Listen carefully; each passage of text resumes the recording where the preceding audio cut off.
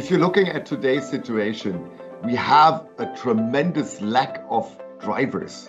There are by far not enough drivers out there. So if we are able to automate portions of the transportation that is happening long distance, we bring a benefit without a single job being deleted from that. And that's a tremendous uh, opportunity for the whole transportation industry to scale up to the needs that we all have as customers, despite the driver shortage that is happening out there. Autonomous trucking is a very attractive case in terms of being able to achieve that in a safe manner and in terms of finding a very attractive business case for our customers.